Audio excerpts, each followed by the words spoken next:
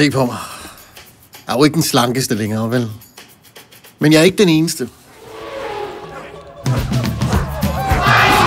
I gamle dage, der måtte vi knokle for kalorier. I dag,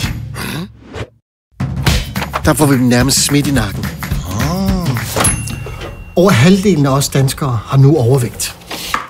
Men kun de færreste af os ved, at overvægt øger risikoen for kræft. Det er et virkelig ufedt budskab. Det der med vægt, det er bare svært at tale om.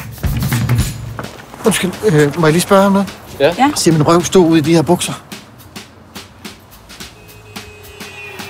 Øh, Så hvordan skal vi egentlig sige det? Skal vi sige det med blomster? ej. Tak. Eller med et glimt i øjet? Hallo? Måske skal vi sige det højt. Hallo? Jeg tror ikke, der er batterier i den her. Eller måske vi bare skulle sige det lidt forsigtigt. Hmm.